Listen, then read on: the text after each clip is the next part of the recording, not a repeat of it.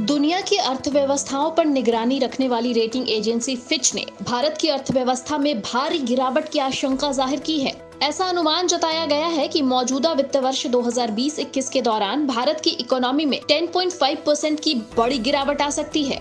इससे पहले फिच ने 5 प्रतिशत तक की गिरावट की बात कही थी। फिच ने इस बात पर चिंता जताई है कि अनलॉक के बाद अब जहाँ अर्थव्यवस्था खुल रही है तो अक्टूबर दिसंबर की तीसरी तिमाही में जीडीपी में बढ़िया सुधार होना चाहिए। लेकिन संकेत बता रहे हैं कि सुधार की गति धीमी, असमान होगी। बता दें कि इसी वित्त वर्ष में पहली तिमाही में जीडीपी में माइनस ट्वेंटी फोर फ़ीसदी की ऐतिहासिक गिरावट दर्ज की गई थी। ये आधुनिक भारत की सबसे बड़ी गिरावट थी। इसकी वजह बताई गई पहले से ही कमज़ोर इकोनॉमी पर कोरोना की वजह से मार्च में लगाया गया सख्त लॉकडाउन।